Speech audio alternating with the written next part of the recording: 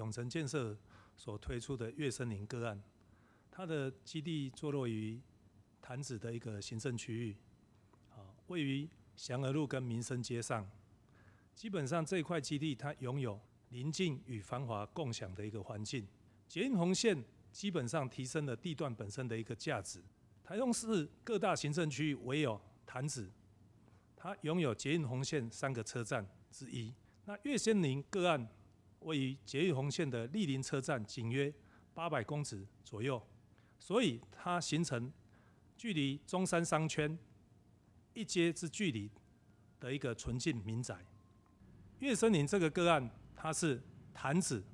以及丰原区第一座垂直森林饭店宅的一个三 A 级的一个优质规划案。何谓三 A 级？一 A，它基地本身拥有的是一个稀有的独特性，三面临路，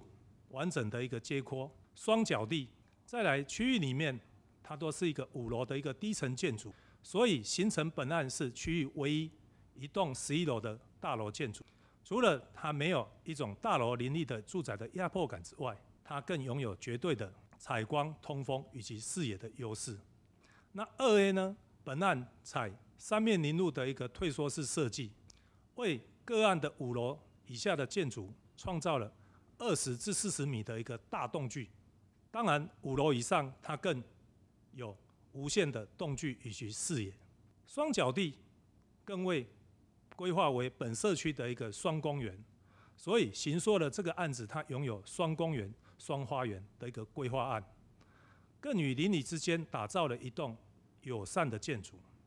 第三个 A，本案采用三塔式的一个豪宅规划案，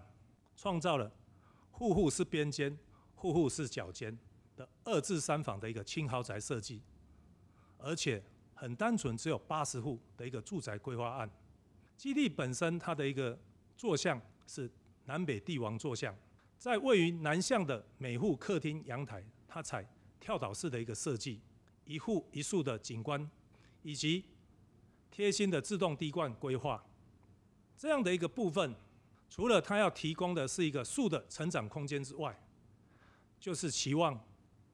塑造成屋完工以后，这个个案的一个建筑与树之间的一种对话韵律之美。本案更打造了将近高达五十 percent 的绿覆环境的一个空间，它要形塑的就是一个垂直。绿建筑的一个个案，一个非常优质好住的一个环境。